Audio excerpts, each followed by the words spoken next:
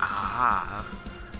I don't, I don't know how really to approach this other than do it. So, um,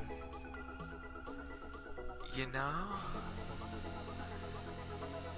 I hope everyone's having a good, good day, good Easter, and uh, you know, you know, just shout out God for putting Jesus here, die on a cross for our sins, and, you know, just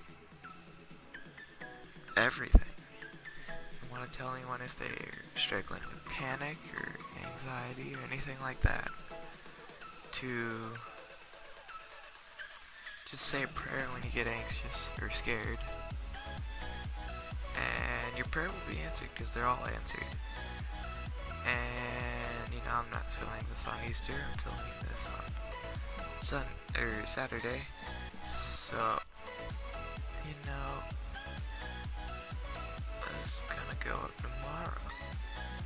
But, you know, there's a lot more things I could say, but that's all I'm gonna say. Just, just shout out God.